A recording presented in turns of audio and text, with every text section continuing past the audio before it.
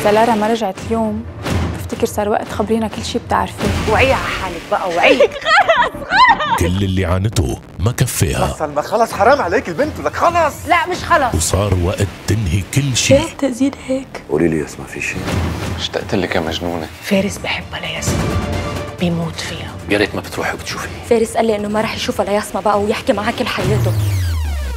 الجزء الثاني من ما في هلا بيكون عم بيظبط الوضع مع حبيبة قلبه ياسمين يوميا ما عدا الخميس والسبت بعد الأخبار على الام تي في